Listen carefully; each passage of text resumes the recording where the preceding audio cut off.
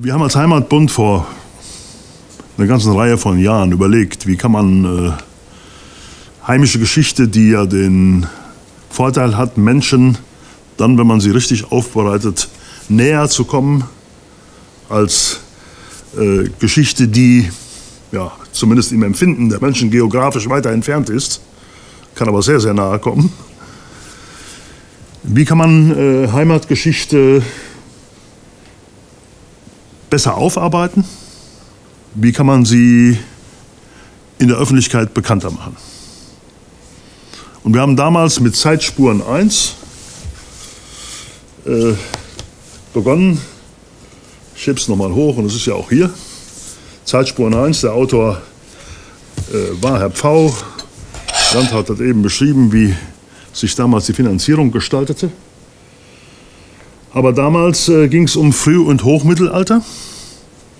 Uns war klar, nach längeren Gesprächen, dass es bei diesem Band um einen sogenannten Langläufer äh, gehen würde. Langläufer heißt, wenn du den absetzen willst, wenn du den verkaufen willst, ist das ein Marathonlauf und du brauchst Geduld und Ausdauer.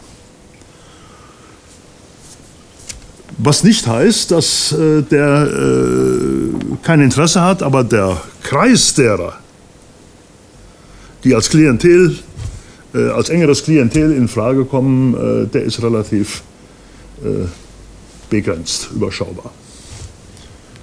Wenn Sie eine besondere Aktion machen, können Sie auch mal schnell verkaufen. Wir hatten jetzt bei der Wasserburg Heinchen, also die äh, erneut belebten durch den Tag der offenen Tür und so weiter, und äh, echtes Geschehen auch hier äh, beschrieben haben in diesem Band, da haben wir erlebt, dass du auf einmal 20 Bände verkaufen kannst, absetzen kannst, weil es wieder eine direkte Erlebbarkeit ist.